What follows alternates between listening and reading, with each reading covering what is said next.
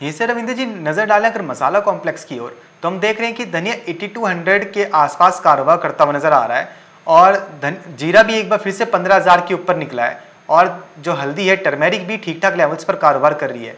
आपको क्या लगता है, क्या दिवाली तक या आने वाले कुछ दिनों तक ये तेज़ी जारी रहेगी या फिर उसके बाद भी ये तेज़ी और देखने को मिल पाएगी? देखिए टर्मरिक में तो सेलिंग के चांसेस बनते हैं क्योंकि एक्सपेक्टेशन है कि इसमें प्रोडक्शन जो है वो काफ़ी अच्छी होने की संभावना है और उसी वजह से हमें चांसेस लग रहे हैं कि दिवाली के बाद टर्मरिक प्राइसेस में एक सेलिंग ज़रूर विटनेस होगी हायर लेवल से।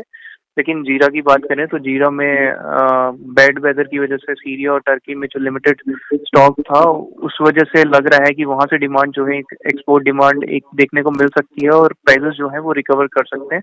तो जीरा में फर्दर बाइंग के ही सलाह रहेगी लेकिन वही टर्मरिक की बात करें तो हायर लेवल से सेलिंग ज़रूर देखने को मिलेगी।